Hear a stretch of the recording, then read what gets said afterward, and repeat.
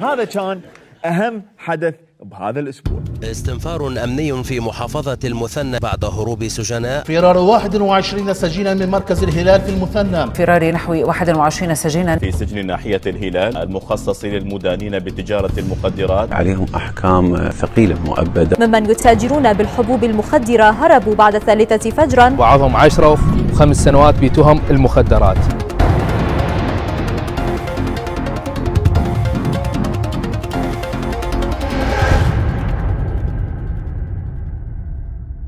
هسه تطلع قناة الأنوار الثانية تقول لك شاهد أحمد البشير حيث قام بتهريب سجناء السماولي كي يسوي حلقة لأحمد منفي الذي يدافع عن حقوق الناس والذي مدري إيش و...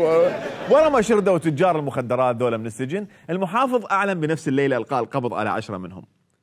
ذولا وين كانوا شاردين؟ راجعين للبيت لو القهوه واللزمه نفس الليلة. ما حد يعرف.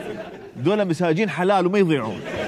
يا أخي مال اللبن للبن ومال السجن للسجن. أو يمكن المساجين دي يسوون دعاية لقوة المخدرات مالتهم بحيث من تشرد من السجن وتتعاطاها تخليك ترجع للبيت تجي الحكومة تلقي القبض عليك. تدقون الباب على أهلك تفتحون الباب. آه، إيش رايد عيني تفضل. آه، حبيبي أنت تفضل.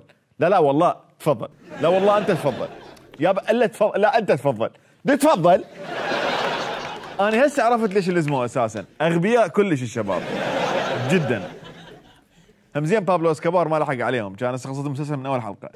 المهم اللي صار صدق هو إنه تجار المخدرات اللي خططوا لهاي العملية كانت اكو سيارات برا تنتظرهم برا السجن أخذتهم وراحوا وما حد لزمهم. ذول الصغار اللي طفروا لزموا قسم من عندهم.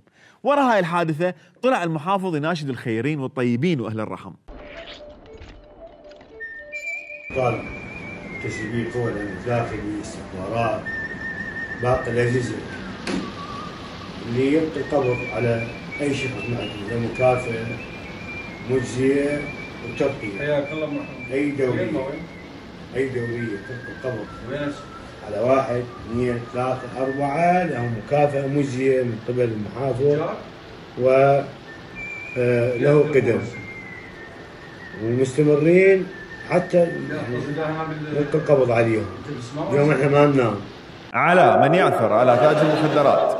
على من يعثر على تاج المخدرات. يرجى أن يدعو بدلوه ويسلمه إلى مركز المفقودين. مضيعين الشم مسجون إخوان. في سبيل الله. الله يخليك يما عشر مساجين الله يزوجكم. طيني مسجون. طيني شارد. مع تحيات. أخوكم أحمد منفي من المثنى ولكم الأجر والثواب والجائزة المالية.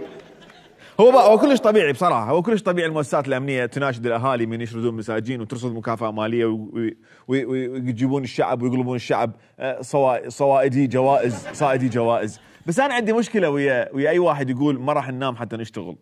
اولا اللي ما ينام يبقى مطفي ما يقدر يشتغل. ثانيا آخر واحد قال العراق لن ينام حتى نكتشف قتله هشام الهاشمي. نام وقعد ونام وقعد ونام وقعد وكل شيء ماكو. ها حليم؟ سامعني يا حلحل؟ مركز وياي يا لومة؟